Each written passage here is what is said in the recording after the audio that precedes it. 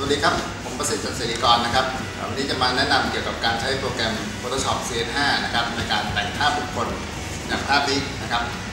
เรามาดูกันว่าภาพถ่ายภาพนี้นะครับจากกล้องนิวตันเนี่ยเราจะทำให้เป็นภาพนี้มีวิธีการทำงานยังไง